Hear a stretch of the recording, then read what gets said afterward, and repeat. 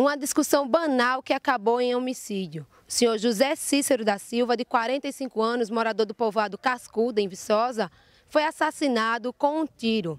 Ele teve uma discussão hoje pela manhã com o senhor Leonardo Cândido da Silva. Essa discussão foi registrada na delegacia. Logo após, eles foram liberados e retornaram para o povoado Cascuda, onde, segundo a irmã da vítima, o senhor Leonardo Cândido fez a volta no carro e efetuou um disparo contra o senhor José Cícero, aqui na frente da casa do irmão dele. A SAMU ainda foi acionada, mas não deu para socorrer a vítima. Imagens de Jorge Gomes, apoio técnico Marcos Vinícius, Sidney Tavares para o portal Vale Agora Web.